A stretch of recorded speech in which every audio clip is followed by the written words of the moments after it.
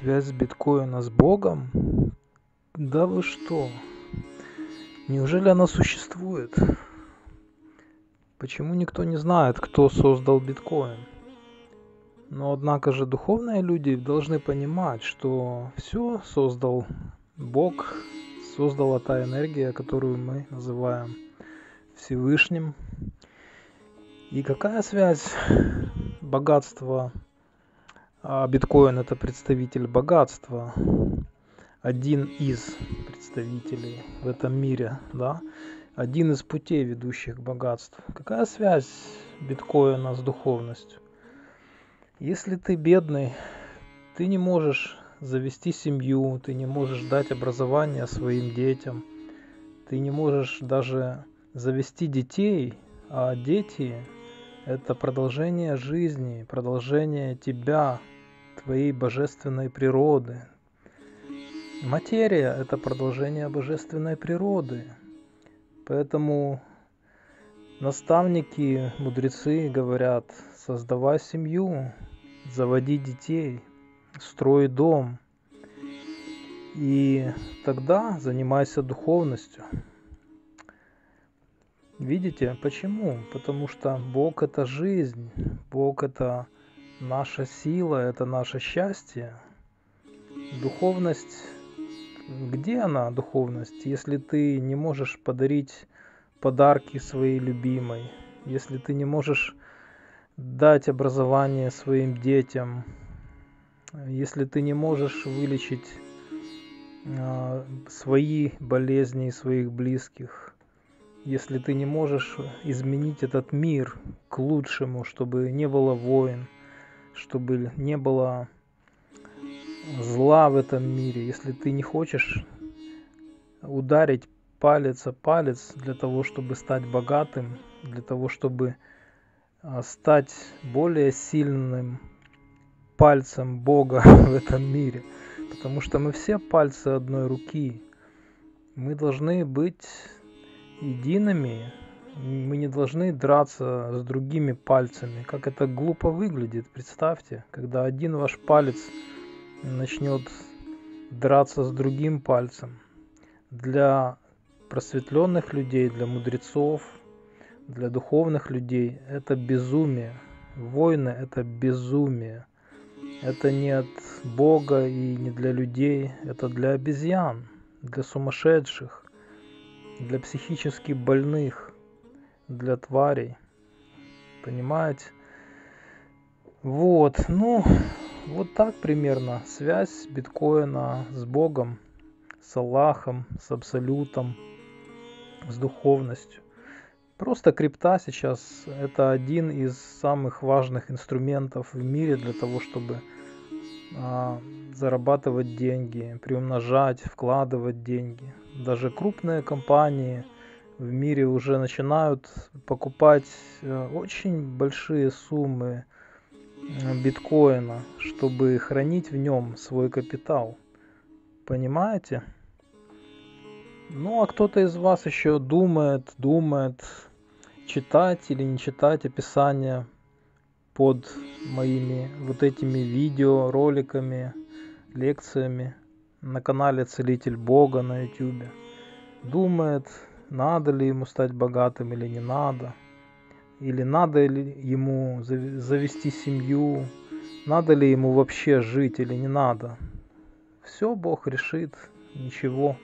Но мы должны стараться понять это, что изучать духовность, конечно, можно только вместе с рядом с наставником. То есть передать вот эти вот моменты через интернет настоящее невозможно. Я, я мог э, записать курс, да, я э, смог это сделать. Я хотел это сделать для вас и сделал это. Но что вы можете взять через интернет?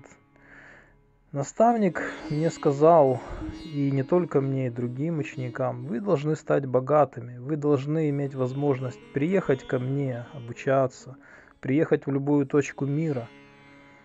А, иначе просто всегда будете рабами.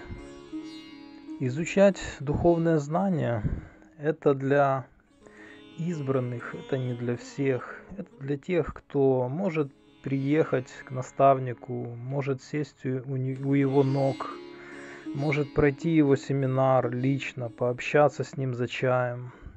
Духовность, вершины духовности – это для свободных людей.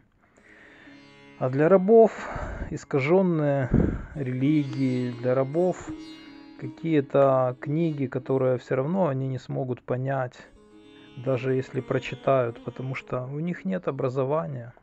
У рабов нет денег на образование.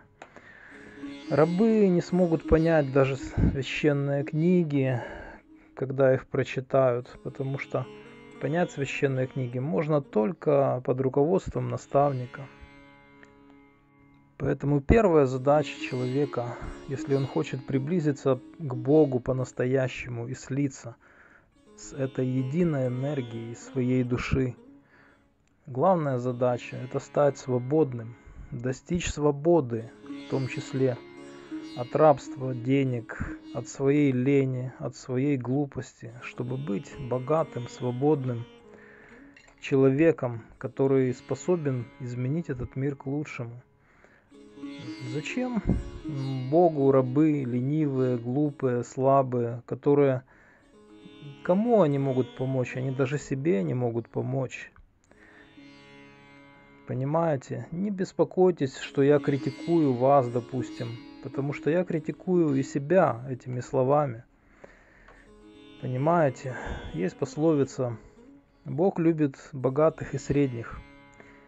Да, и когда пытаешься помочь бедным людям или совсем нищим, пытаешься хоть что-то рассказать о финансовой грамотности, о, о деньгах, о крипте, как заработать.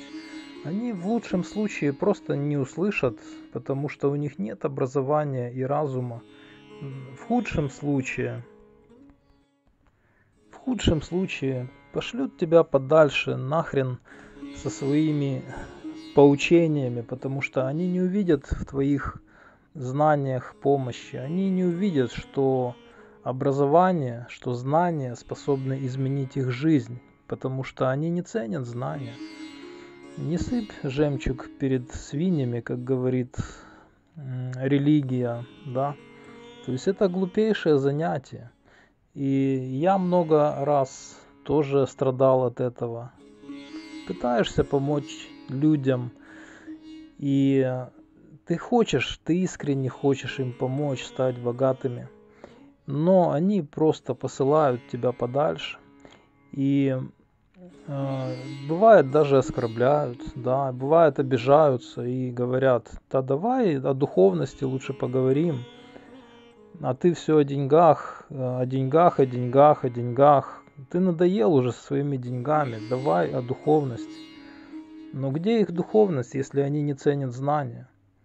Религия, духовность – это начинается со знаний, а не с каких-то предрассудков. Это четкое знание, четкое образование, которое надо получить у профессионального, у мудрого, настоящего духовного наставника. Лично, лично у него – не через интернет, не через книжки. Поэтому мы, друзья, должны стать все свободными людьми для того, чтобы развиваться, для того, чтобы менять этот мир, чтобы не быть слугами сатаны, как говорит религия, слуги зла. То есть люди, которые не сопротивляются злу, а потому что есть такие законы а, в религии, если ты видишь зло, ты должен остановить его рукой. Если ты не можешь остановить его рукой, ты должен остановить его языком. Если ты не можешь остановить его языком, ты должен хотя бы возненавидеть его в своем сердце.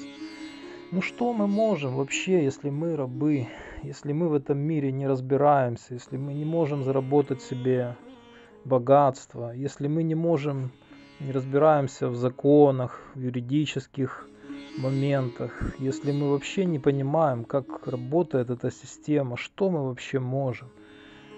Как, какие-то кто-то из моих друзей, допустим, ну, уступил, уступил бандитам, аферистам, которые отобрали квартиру у его родственников. Так где же тут духовность? Где тут духовность? Это поощрение зла, это служение сатане, это нарушение духовности, нарушение религии, да. Где тут духовность, когда ты не останавливаешь зла, зло, а когда ты а, просто смотришь, как оно происходит.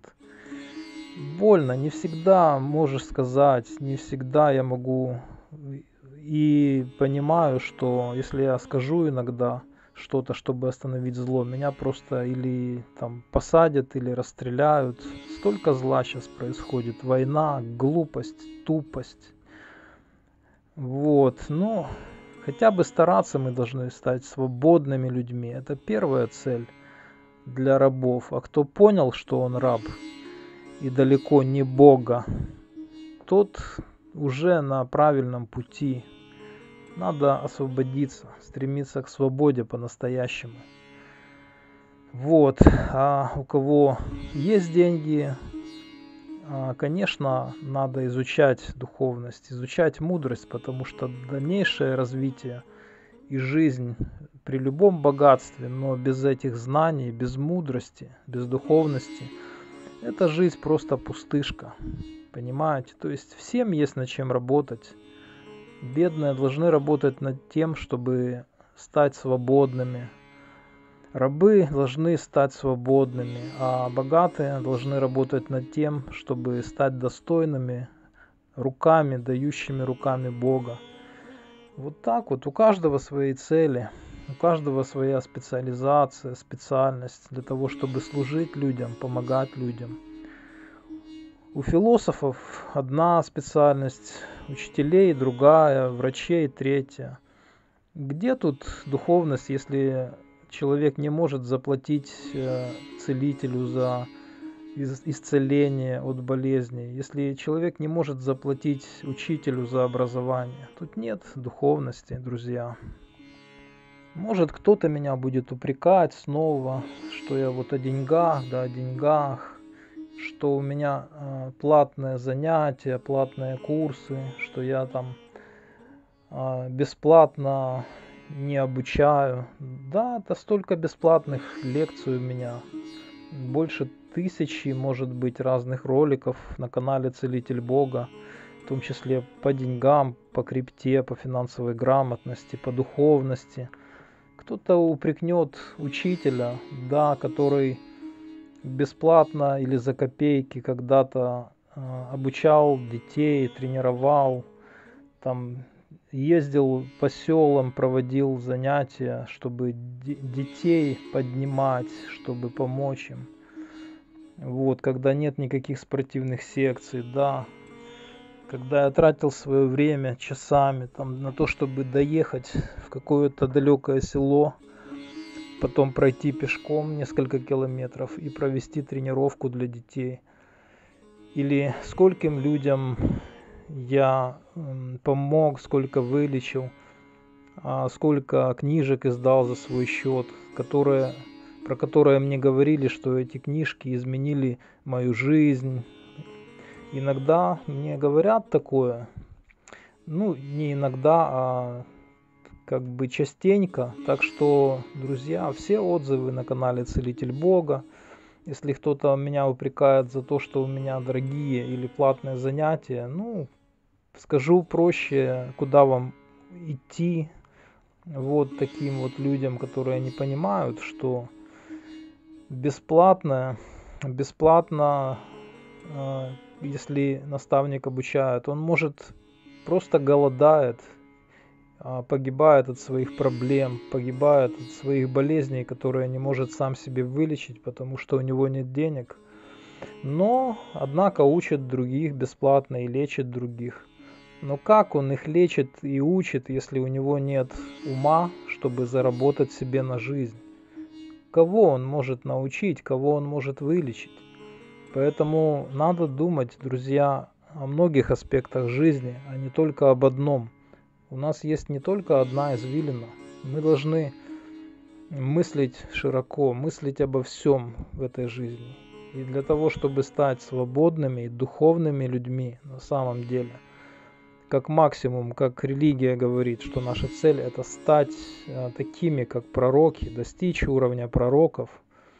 Вот для этого надо быть свободными, богатыми людьми, которые могут приехать к своим наставникам, могут заплатить за обучение, которые могут дарить подарки своим любимым, своим детям, которые могут построить себе дом и создать свою династию, свою семью, свой род, продолжить жизнь, потому что это дело угодное Богу, угодное духовности. Вот так вот так что, друзья, ответы такие. Вот связь биткоина с духовностью, вот связь биткоина с Богом. Поэтому кто еще э, не в моем чате по финансовой грамотности, э, приглашаю. Кто еще не на моем канале Целитель Бога, заходите, подписывайтесь.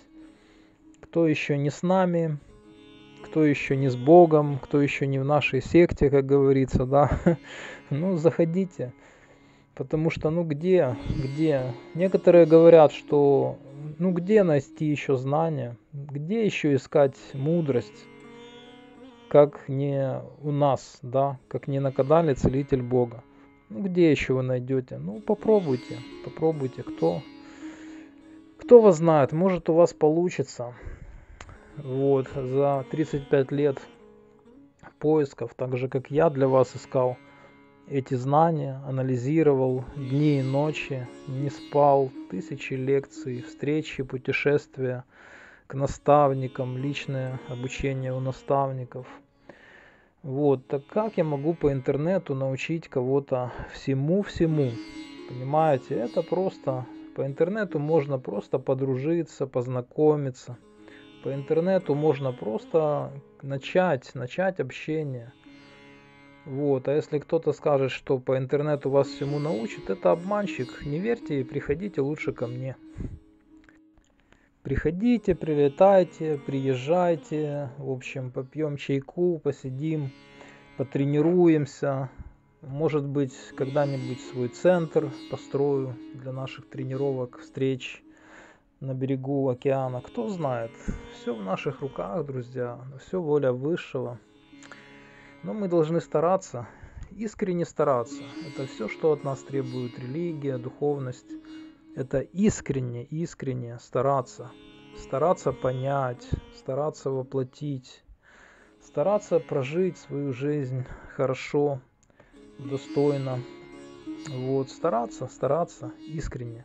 Поэтому приглашаю вас на свои курсы, на онлайн-курсы.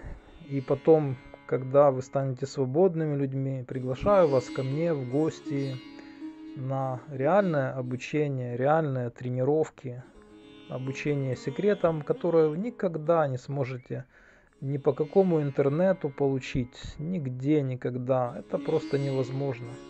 Ну, понимаете. Верите вы, не верите, неважно. Вы должны понять, когда профессионалы вам говорят, это э, высшее правильное знание. И дело совсем не в вере. Все надо проверять. Не надо никому верить просто на слово. Все, вся мудрость, духовность, все боевые искусства, спорт, здоровье и так далее, все передается только на практике, лично, лично от учителя к ученику. Только так говорит об этом восточная традиция э, йоги. А, ну и любые традиции, всегда ученики живут вместе с наставниками, работают, помогают, учатся. Поэтому ничто не заменит, никакой телевизор, никакой интернет, никакие все эти современные изобретения – не заменят. Ну, если будет милость наставника, допустим, опытного наставника, то он может к вам приходить и ночью во сне и обучать вас. Да, это возможно. У меня есть такие наставники. Это прекрасно, друзья, но это не для всех. Это, не, это тоже для избранных. И не всех такие наставники будут обучать. Поэтому нам просто надо искренне стараться. Все, что я могу вам сказать, я сказал. Что не сказал, сказал в лекциях на канале Целитель Бога. Так что заходите, проходите курсы обязательно. И делайте обязательно все упражнения. Выполняйте все упражнения, которые я давал на своих курсах. Делайте, действуйте. Иначе, если вы не сделаете их, не постараетесь, то у вас не будет и никаких толковых вопросов. Понимаете? Удачи, друзья! Мира вам и всех благословений Всевышнего!